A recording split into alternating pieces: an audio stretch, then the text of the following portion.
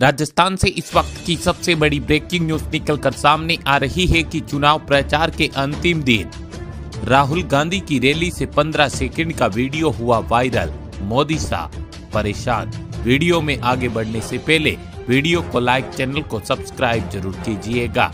23 नवंबर 2023 को राजस्थान विधानसभा चुनाव के लिए प्रचार प्रसार का शोर थम गया। लेकिन इससे पहले राहुल से गांधी की रैली से जो तस्वीर और वीडियो सामने आए हैं, उसने निश्चित तौर पर बीजेपी की नींद उड़ा दी है। दरअसल, राजस्थान विधानसभा चुनाव में जनता को लुभाने की कोशिश कांग्रेस और बीजेपी दोनों ही कर रहे हैं। इस दौरान वादों की पिटारों में दोनों ही पार्टियों ने किसानों से लेकर महिलाओं और छात्रों के लिए तमाम स्कीमों का ऐलान किया और इसी के साथ ही रोड शो और जनसभाओं के ज़रिए वोटर को साधने की कोशिश की गई।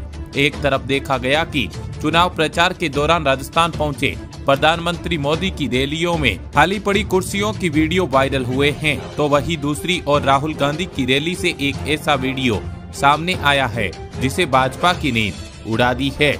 आपको बता दें, विधानसभा चुनाव के लिए राजस्थान के दोस्त पहुँची कांग्रेस नेता राहुल गांधी की रोड शो का एक वीडियो वायरल हुआ है।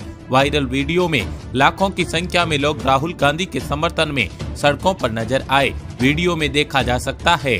भारी संख्या में लोग राहुल गांधी के रोड शो में नज़र आ रहे हैं। फिर इतनी ज़्यादा है कि सड़क पर पाँव रखने की भी जगह नहीं बची है और राहुल गांधी के रोड शो का ये वीडियो सोशल मीडिया पर तेज़ी से वायरल हो रहा है। बताते चले कि सभी चुनावी राज्यों में इसी तरह से राहुल गांधी को जनता का भरपूर समर्थन मिलता है। देखा जा रहा है पूरी दुनिया हैरान हो गई है। लोगों का कहना है कि राहुल गांधी के अंदाज और उनकी लोकप्रियता के चलते पूरा राजस्थान राहुल गांधी के समर्थन में उतर आया है और 25 नवंबर को राहुल गांधी को चाहने वाले लोग उनके पक्ष में वोट डालकर राजस्थान में कांग्रेस को विजय बनाएँगे। दोस्तों, वीडियो को शेयर, चैनल को सब्सक्राइब ज़रूर करें। धन्यवाद।